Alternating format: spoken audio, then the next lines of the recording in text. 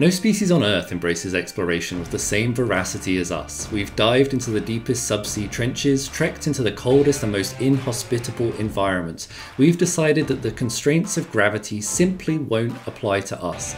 Time and time again, we have found ways to sidestep the limits of our terrestrial evolution. Where we didn't have wings, we engineered them, mastering flight to take us into the clouds and across the oceans. Where those wings failed to satisfy us, we turned to our understanding understanding of chemistry and pointed that same appetite for exploration towards the stars, touching down on our nearest celestial neighbour just 66 years after first learning to fly.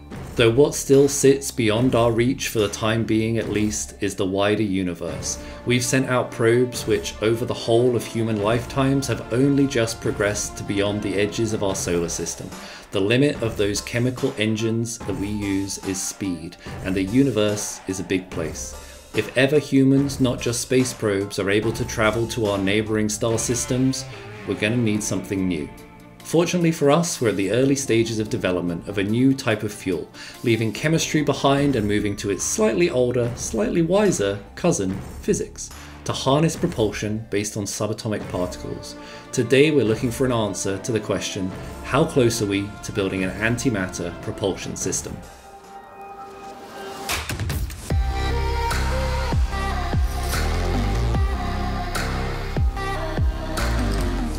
Hi, I'm Dr. Ben Miles, and welcome to Spin Up Science, where we look at the startups and spinouts that are translating scientific breakthroughs into the real world.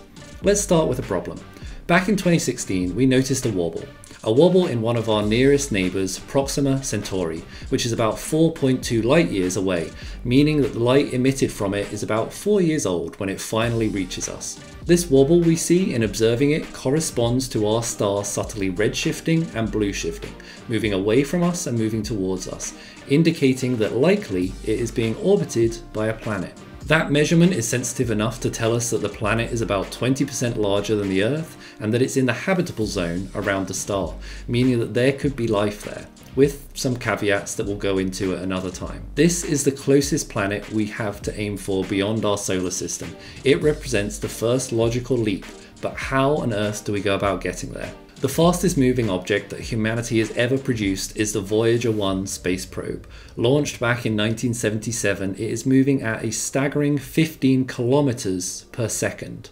That sounds pretty fast. It would take you to Mars in a couple of months. It would get you to the edge of the solar system in maybe a few decades. But to get you to Proxima Centauri, it would take you 30,000 years, and human beings simply won't wait that long. Now there are a few options for replacement, nuclear fusion which we talked about in a video here, laser propulsion using photonic pressure to accelerate a spacecraft, and then there's antimatter, using some of the rarest particles in the universe to accelerate a starship. If we can make that work, we can take that 30,000 year journey down to just 40 years, less than a human lifetime.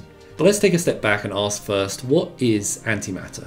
Antimatter was first theorized by Paul Dirac, the father of quantum electrodynamics, when he discovered back in 1928 that both positive and negative energy solutions would satisfy his relativistic version of the Schrödinger wave equation for electrons, meaning that the electron might have an equal but opposite particle in existence that had the same mass and the same spin but had opposite charge an anti-electron. This theory was proven correct in 1932 by Caltech physicist Carl Anderson, with this image captured from a cloud chamber that shows a particle bending in the wrong direction in the presence of a magnetic field. The radius of curvature indicates that it has the same mass as an electron, but it must have opposite charge. The anti-electron, otherwise known as the positron, had just been discovered. The first antiparticle of which we now know every particle has one. The equally exciting and terrifying thing about an antiparticle is that when it comes in contact with its respective particle, they annihilate each other. Both particles disappear and leave in their place pure energy, usually in the form of a very high energy photon. There are companies out there at the moment, like Positron Dynamics, that are hoping that they can harness this energy and turn it into propulsion for spaceflight.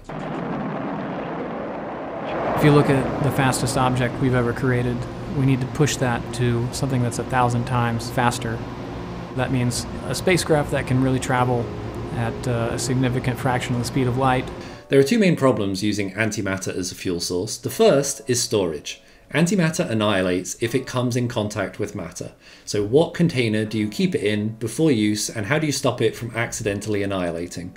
To put the problem in context, a kilogram of antimatter annihilating with matter would produce roughly the same energy produced by the largest thermonuclear weapon ever detonated on Earth, the Tsar bomb, a hydrogen bomb detonated by the Soviet Union equivalent to approximately 55 megatons of TNT.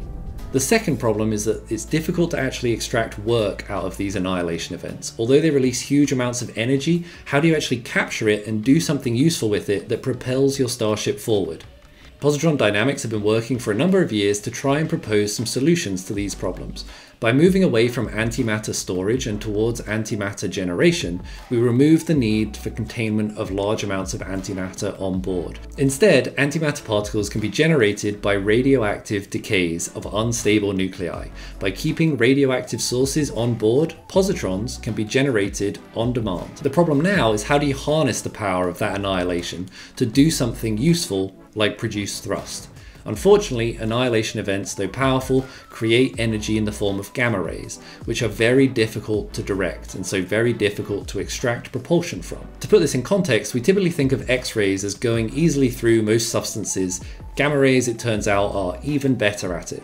So the goal becomes how do we use those annihilation events to generate instead of gamma rays as the end product, a charged particle? Because charged particles we can direct and we can accelerate with magnetic fields which kind of goes back to how we detected antimatter in the first place. The solution that positron dynamics are working on is to use annihilation events to kickstart a nuclear fusion reactor in a process called positron catalyzed nuclear fusion. These fusion events can create the charged particles that can be directed and produce thrust. The difficult part the positron dynamics are working on to try and make this system work is how to do this reliably. The first issue they have to contend with is that radioactive decays produce something called hot positrons. The thing to understand is that hot is just a physics convention here. The physics definition of temperature is a measure of the average speed of particles in a system. So all we mean when we say these particles are hot is that they are moving very quickly. It's important to slow those positrons down here so that they're easier to control and to direct using a magnetic field to create a dense beam of positrons that then can be fired into that nuclear material, typically deuterium. If those positrons are moving too fast, you would need an incredibly powerful magnetic field in order to steer them. To slow them down, positrons are passed through a moderator, which thermalizes them, makes them the same temperature as the surrounding material. Unfortunately, this process is typically really inefficient, with only about 0.1% or 1 in a thousand positrons emerging from the moderator, with the rest annihilating inside it. This is one of Positron Dynamics' key areas of innovation. They have developed and patented a novel moderator structure, an array of dozens of sheets of silicon carbide kept in a vacuum to minimize the presence of errant electrons and reduce the chance of annihilation events, from about 0.1% to what they report of about 60%, orders of magnitude improvement. The dense cold positron beam that emerges from the moderator is then directed onto that nuclear fuel, which produces annihilation events, releasing gamma rays that destabilize the fuel, triggering nuclear fusion, splitting off charged particles which can then be accelerated out the back of the rocket to generate forward thrust. But you might be asking here, particularly if the journey is going to be many decades long, what happens after a few half-lives of your radioactive isotope in space? Eventually, it will deplete its radioactivity and stop emitting positrons, so it's important to have a method of topping them back up. In a couple of renders of the proposed system that I've seen, there also seems to be a mechanism proposed to enrich non-radioactive fuel sources which can then be used to emit further positrons. From what I can see, Positron Dynamics have chosen Krypton 78 to 79 because it has a large neutron capture cross section, which essentially means it's easy for the neutrons that emerge out of the nuclear fusion reaction to be captured by Krypton 78 and transition it to Krypton 79, which can then be used to generate more positrons. And so we get to the important questions when we look at any early stage technology trying to move its way out in the world from fundamentally what is very early stage science. How far have they actually made it in this process? Good question. It's kind of hard to work that out. What I'll start by saying is that what it looks like they are doing is still very fundamental research, early on the technology readiness level spectrum, maybe even as early as TRL 1 to 2.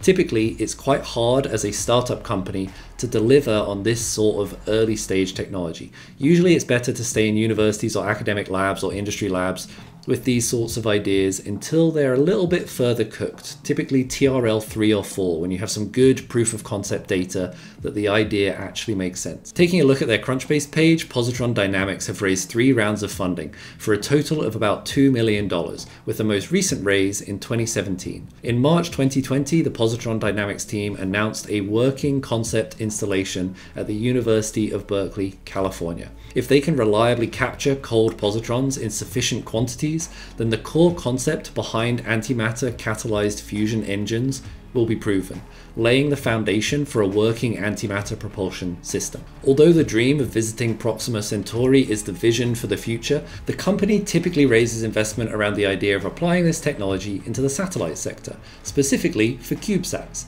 which are some of the most common small satellites deployed in large constellations around the world, an example of which is SpaceX's Starlink network, which is providing satellite enabled internet. The pros and cons of CubeSats is that because they are small and cheap, they typically don't have very good, if any at all, onboard propulsion. So after a few years, they typically fall out of orbit and burn up in the atmosphere.